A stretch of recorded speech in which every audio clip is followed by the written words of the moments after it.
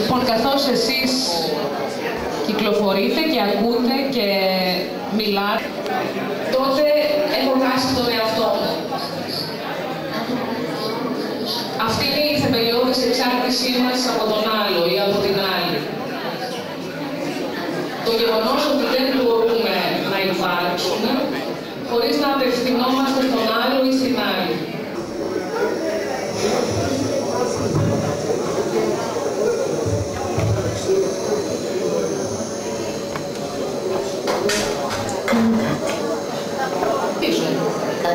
Να σας προτείνουμε τώρα λίγο να καθίσετε μήπως μπορούμε να πετύχουμε και μια κατάσταση συζήτησης